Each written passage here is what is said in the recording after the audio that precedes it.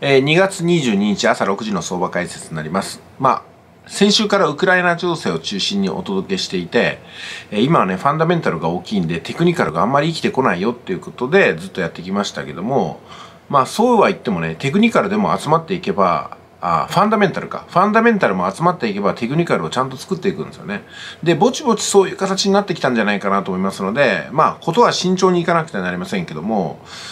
でもそろそろテクニカルも見ていこうかなと思ってます。ただね、前提としては、今週もエントリーするタイミングはとてもリスクが大きいんでやらない方がいいっていうのが前提です。その上でも相場解説だけはね、少しずつ回復していく兆しがあるかなと思いますので、こちらをご覧いただきたいと思います。えー、冷やしを見ていくんですけども、まずはね、ダブルトップを意識しますね。ダブルトップが起きた後っていうのは、その間の一番低いところまでこのローソク足が伸びるかどうかを見ていくわけです。今真ん中辺ですよね。だからこの辺で反転するようなら、黄色を打ち破って上昇に行くと。で、それがね、ここまで同じような状態です。ここで反転しても突き破るし、まさにね、ここで反転しても今度は2点底を作って、ダブルトップ2点底なんで、えー、アウトブレイクする可能性が強いかなと思います。もちろんレンジでずっと横ばいっていうのもありえますけどもただ全体のね流れが上昇ですからね、うん、それからどんどん悪い円安が加速する状況は整ってますんで、えー、今回ねこれ今冷やしを見てますけども結局は黄色いゾーンを突き破って上昇に転じるところがそう遠くないかなってことですよね。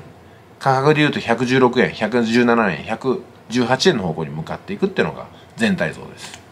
じゃあ4時間の方行きましょうか。4時間の方を見ていきますと天井とあと一番低いところ2つが出てますけどもほらもうテクニカルをね形成してますよね。安値を切り下げて高値を切り下げて、はい、もう下げトレンドを形成してるわけですよ。ただ下げトレンドはずっと続かないのは一つのポイントはここです。ここの折れ曲がったところで